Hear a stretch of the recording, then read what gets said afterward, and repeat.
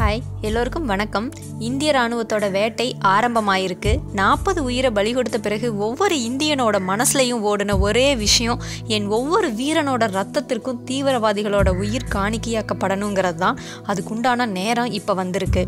இதை பற்றின ஒரு சின்ன வீடியோ பதிவு தான் இது. இந்திய விமானப்படையோட பல விமானங்கள் இன்னைக்கு காலையில் மூணு முப்பது மணிக்கு பிஓகேன்னு சொல்லப்படுற பாகிஸ்தான் ஆக்கிரமிப்பு காஷ்மீருக்குள்ளே நுழைஞ்சிருக்காங்க. எல்ஓசின்னு சொல்கிற லைன் ஆஃப் கண்ட்ரோலை தாண்டி போய் அங்கே இருக்கிற தீவிரவாதிகள் முகாம் மேல தாக்குதல் நடத்தியிருக்காங்க. இந்தியா கார்கில் போர்ல இரவு வான்வெளி தாக்குதல்ல பின்தங்கி இருந்ததா பரவலா பேசப்பட்டுச்சு. ஆனா அதை பொய்யாக்கும் விதமா இன்னைக்கு காலையில மூணு முப்பது மணிக்கு பாகிஸ்தான் ரேடார்னாலேயே கண்டுபிடிச்சு அதுக்கு பதில் தாக்குதல் நடத்த முடியாத அளவுக்கு மிக துல்லியமா ஆயிரம் கிலோ வெடிமருந்துகளோட பல விமானங்கள் எல்லை கோட்டை தாண்டி தீவிரவாத முகாம்களை அழிச்சிருக்கு. சுமார் ஆயிரம் கிலோ வெடிமருந்துகளை ஒரே நேரத்துல ஜெய்ஷ் இ முகமது தீவிரவாதிகள் முகாம் மேல போட்டு தன் வேலையை தொடங்கி தொடங்கியிருக்கு இந்தியாவோட விமானப்படை விமானம். பிப்ரவரி பதினாலாம் தேதி புல்வாமா மாவட்டத்தில் ஜெய்ஷ் இ முகமதால நடத்தப்பட்ட தற்கொலைப்படை தாக்குதலுக்கு பதிலடி கொடுக்கும் விதமா அமைஞ்சிருக்கு இந்த வான்வெளி தாக்குதல். இந்தியாவோட Mirage two thousand fighter jets use பண்ணி சுமார் ஆயிரம் கிலோ வெடிமருந்துகளை தீவிரவாதிகள் முகாம் மேல வெடிக்க வச்சதா ராணுவ வட்டாரங்கள் தெரிவிச்சிருக்காங்க.